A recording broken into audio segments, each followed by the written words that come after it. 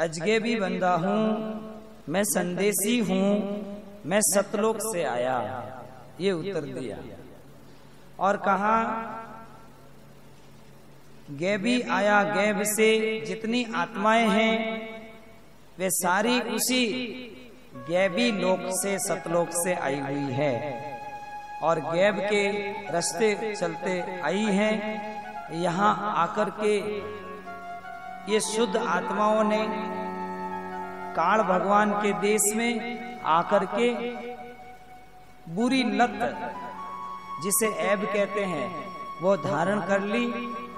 इसलिए सारी आत्माएँ काल के जाल में फंस गई। और जो जो आत्मा अमर लोग जाती है, उन्हें ऐब तो छोड़ना ही पड़ता है। उन्हें अपनी गलती का सुधार करना पड़ता है और गलती के अपने मन की गलती हटाए बिना कोई उस देश में जा नहीं सकता है। अब आप कहते हैं कि आप रहा जब रहा नहीं कोई एक ही एक कहाया। ये जो चेतन है, उस सतपुरुष का अंश है और सतपुरुष जो आप धनी, स्वयं वहाँ रहे कोई दूसरा साथ में नहीं था। अमरलोक की रचना सत शब्द से एक ही वचन से कर ली। फिर वहाँ से अनेक होने की भावना जागृत हुई। तब उस सतपुरुष ब्रह्म के सोलह सुत उत्पन्न हुए और सोलह सुतों के साथ पुरुष अमरलोक में अलग अलग दीप अपने पुत्रों को देकर, अपने अंशों को देकर अमरलोक में विराजमान रहे। फिर जात वर्ण कुल रूपनी रेखा जिन ये राह चलाया। तो ये सारी आत्माओं की कोई अलग अलग जाति नहीं, सब एक ही आत्मा है।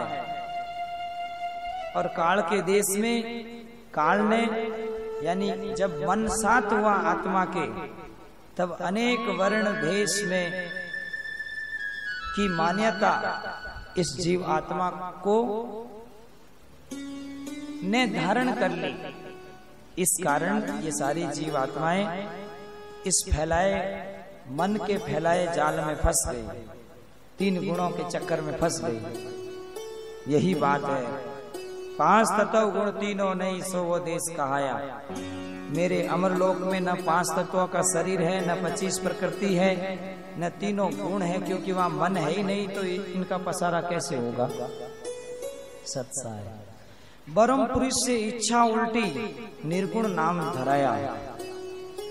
ब्रह्मपुरी से सुत निरंजन की इच्छा उल्टी। जागृत हुई कि मैं भी एक से अनेक हो जाऊँ। तब अद्या शक्ति अष्टांगी देवी दुर्गा माता को जन्म दिया और अष्टांगी देवी दुर्गा इच्छा रूपी इच्छा जो है, वो मन रूपी निरंजन का साथ किया। और उसी निर्गुण निरंजन से फिर ब्रह्मा विष्णु मेष की उत्पत्ति हुई और ब्रह्मा विष्णु मेष से ऋषि मुनियों की उत्पत्ति हुई और ऋषि मुनियों से अनेक देश भेष और सारी जनता की उत्पत्ति हुई। जातिवाद जातिवाद, द्विज और राजाओं ने स्थापित किए। और ये ईश्वर के बनाए हुए नहीं है। सट दर्शन का बंद छुड़ाया, और जब मैं आया तो क्या काम किया मैंने वही बता देता हूँ। कबीर साहब कहते हैं, हे गोरखनाथ जी, जब मैं इस संसार में आया तो सट दर्शन का बंद छुड़ाया, इब्राहिम को चेताया। जो एक इब्राहिम नाम के सुल्तान बुखारा के बादशाह थे। बुखारा देश अलग था जिस समय साहेब आए थे। बलक बुखारा के सुल्तान इब्राहिम, जिसको मैं चौदह बार प्रकट होकर के उसको साधु बनाया, चेताया, उसने संसार के जितने भी सट दर्शन हैं उन सबको बंदी बना दिया था और हाथों में गट्टियाँ दे दी थी। दर्शन सन्यासी, जो भी साधु संत सिद्ध महात्मा थे, उसके आतताई स्वभाव से दुखी हुए थे। तब मैं वहाँ जाकर के इब्राहिम को चेताया, चौदह बार पर्चा दिया। फिर इब्राहिम मेरा शिष्य बना। और सुल्तान इब्राहिम सोलह हज़ार रानियों का त्याग किया। सोलह हज़ार रानियों, अठारह हज़ार घोड़ा और कोटिन कोट हीरा मोती के खजानों को त्याग कर वो साधु बन गए। तो जो इब्राहिम सुल्तान था, उसको मैंने अपना शिष्य बनाया।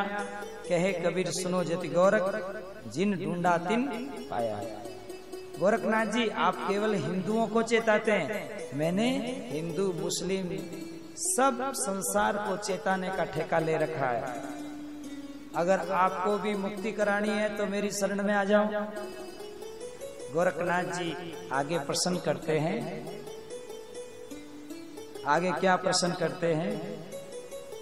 कि कबीर साहेब, आपकी उम्र कितनी है? चलो इस प्रश्न का जवाब के लिए भजन की तैयारी।